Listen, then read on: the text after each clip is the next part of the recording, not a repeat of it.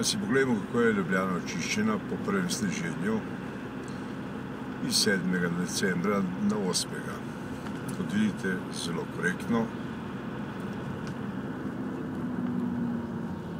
Tako kot so bili komunalci.